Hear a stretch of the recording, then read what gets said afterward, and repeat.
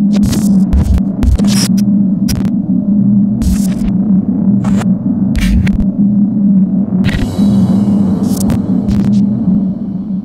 morning everyone, what's going on and welcome back to another video. Welcome to the Eurotunnel, the train that takes us from France back to the UK. Pretty early start this morning, it's still dark outside. I mean obviously it's dark, we're in a tunnel, what am I talking about? But it's still dark outside. We got the tunnel at like half past seven in the morning, travelling home today from Belgium into France and now we're going across to the UK. Got like a solid seven or eight hours of driving in total in me today. So today guys, today's a travel day. I am trying to find toilets right now but I don't know. It says that they're in the first and last carriages, but I think I'm somewhere in the middle. So I reckon I'm just gonna hold on. I reckon I'm just gonna hold on until we get to the border, to the UK.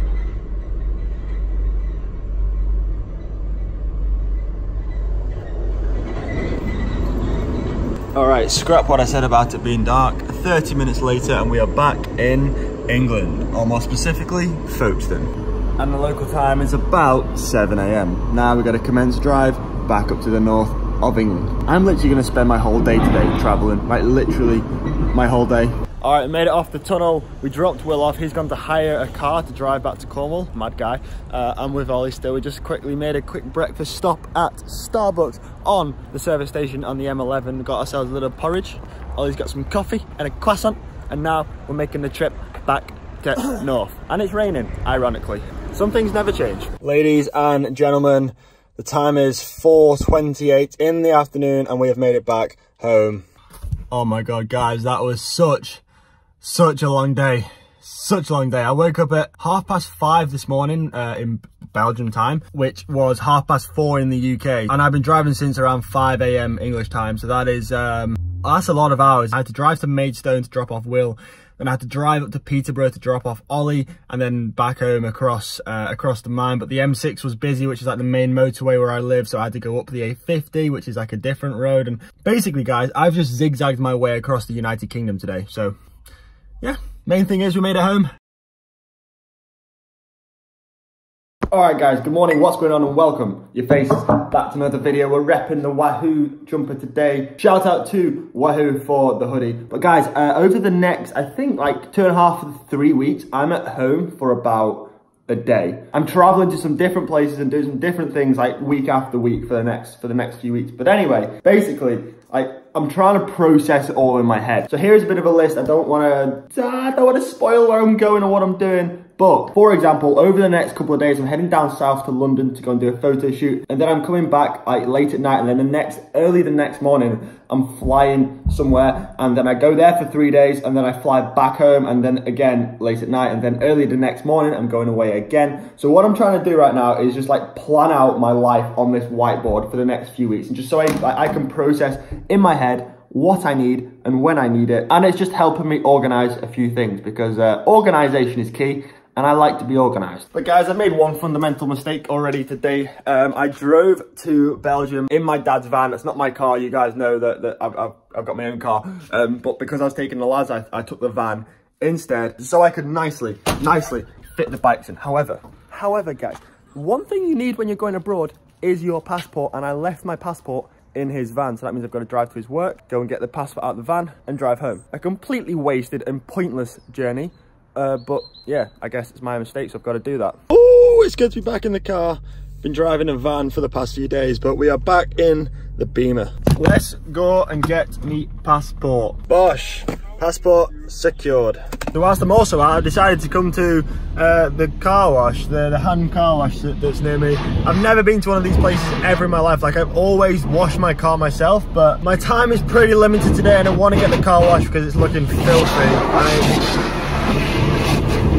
I've always kind of been a little bit worried that they, I don't know, scratch the car or something like with stones and sponges. But I looked on Google and the reviews for this place are maybe pretty good. So um, I'm gonna get myself a car wash for seven pounds and we'll see how it looks. Mmm, soap, all the soap. Make my car nice and clean, please. Here we go, moment of truth. The guys have finished. I've just driven down the road and like pulled over into a little lay-by. Let's see. Let's, all right. All right. Um, all right. I mean, like, there's there's obviously going to be like minor details that have been slightly missed, but you know what, guys? For six quid, for six quid, I'm not going to complain about this. It has saved me a good hour and a half, two hours of, uh, of cleaning. But it is looking, I mean, I'm sure from the camera it looks even cleaner than like it actually is, but that ain't bad, is it? That ain't bad. I'm actually pretty, like obviously there's little bits here, for example, that kind of have been missed and the usual, there's a couple of dead flies there that got missed, but uh, you know what? For six quid, guys, I am absolutely pretty happy with that. I'm not going to complain one bit. So to the, uh, to the, I think they were Romanian guys. Shout out to your faces. I think it's called Shiners, uh, Shiners Hand Car Wash in in Burscough in in Rufford. Shout out to your faces. I'm happy with that. I will be returning, no doubt.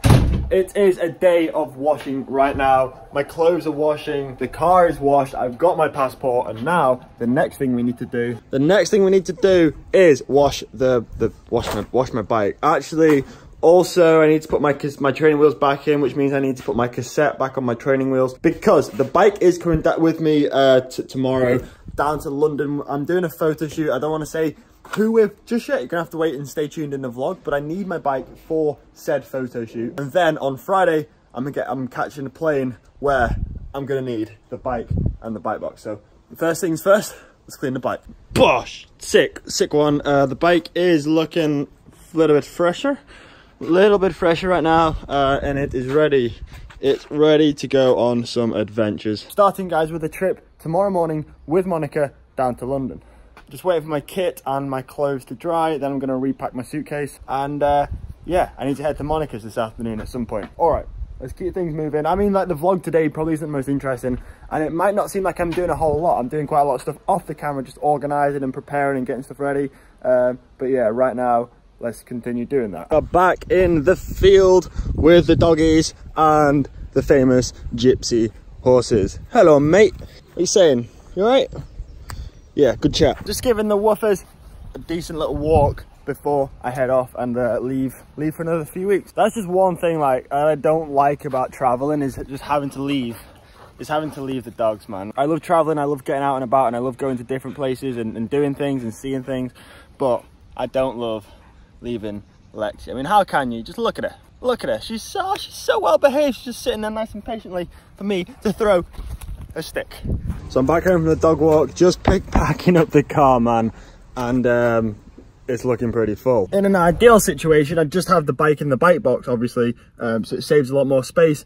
But I need the bike tomorrow in London, uh, which doesn't require the bike box. But then when I get back from London, I require the bike in the bike box. Anyway, guys, it is time to start the new adventure. And that commences with mission number one, which is simply drive the one hour journey to Monica's house. Ladies and gentlemen, a little bit of an update. We're now at Monica's house. Uh, actually, I'm now in Macclesfield. We're at Tesco in Macclesfield. Here she comes, icon of fashion, hoodie, joggers and slides.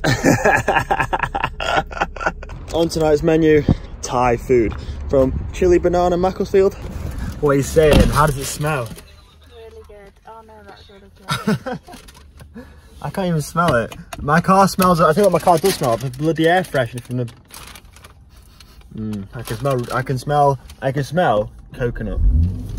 Didn't you order coconut? Yeah, coconut rice. Oh yes, we have got here some coconut rice, a little bit of chicken, sweet and sour, some tomatoes. No, not tomatoes, some peppers. Mun's got a, uh, what's that, pad thai? Pad thai with some noodle? No, thank you. Uh, how's it taste? Oh. oh, is that, does not taste good? was lime. Oh, okay. Not not peanut. It's not peanut. It is P nut. space pores nut.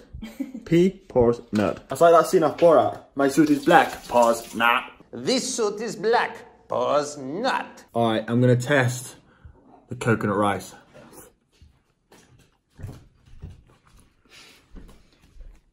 I mean, it's not the best coconut rice I've ever had, but it's, it, it's pretty good. Is it coconutty? Yeah, it's no, that's the issue. It's not coconutty enough. Now a bit of chicken, sweet and sour, Thai style sweet and sour chicken. That's better. That's better. All right, editing this video right now, sat in the passenger seat of my car. My lovely girlfriend is driving. I forgot to film an outro last night. We are currently on our way to the London Ting It's a London ting ting ting ting ting ting ting. Anyway, uh, you're gonna have to stay tuned for tomorrow's vlog. We're on our next adventure. We're on our next mission. So stay tuned for that, guys. But for today, that is the end of today's video. And thank you for watching. I hope you enjoyed it. Please leave a like. It helps out massively with the channel. And with that being said, guys, I'll see you tomorrow at the same usual time of 5 p.m. won't